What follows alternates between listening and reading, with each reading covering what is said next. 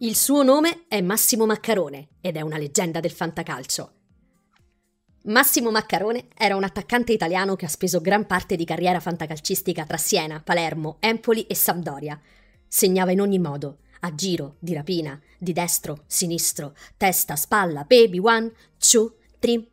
È stato uno dei primi italiani a giocare in Inghilterra, dove fu soprannominato Big Mac Curiosamente però nessun inglese è mai venuto in Italia a farsi soprannominare Mega Paninazzo.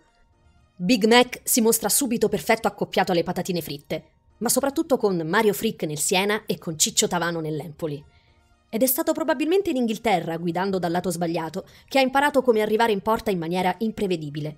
Alla fine, infatti, realizzerà ben 79 gol in 271 partite di Serie A, portando bonus a ripetizione ai fantallenatori.